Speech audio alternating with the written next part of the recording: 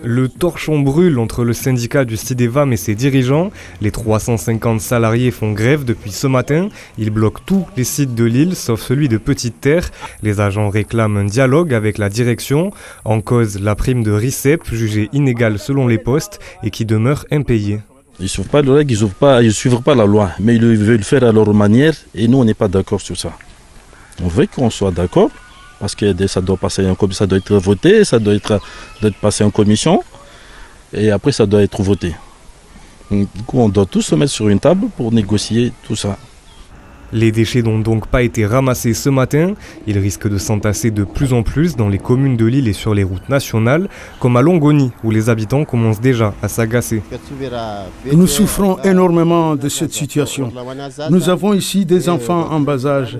Avec cette grève, nous subissons les dégâts collatéraux. Ce n'est pas bien, ce n'est pas bon pour notre santé.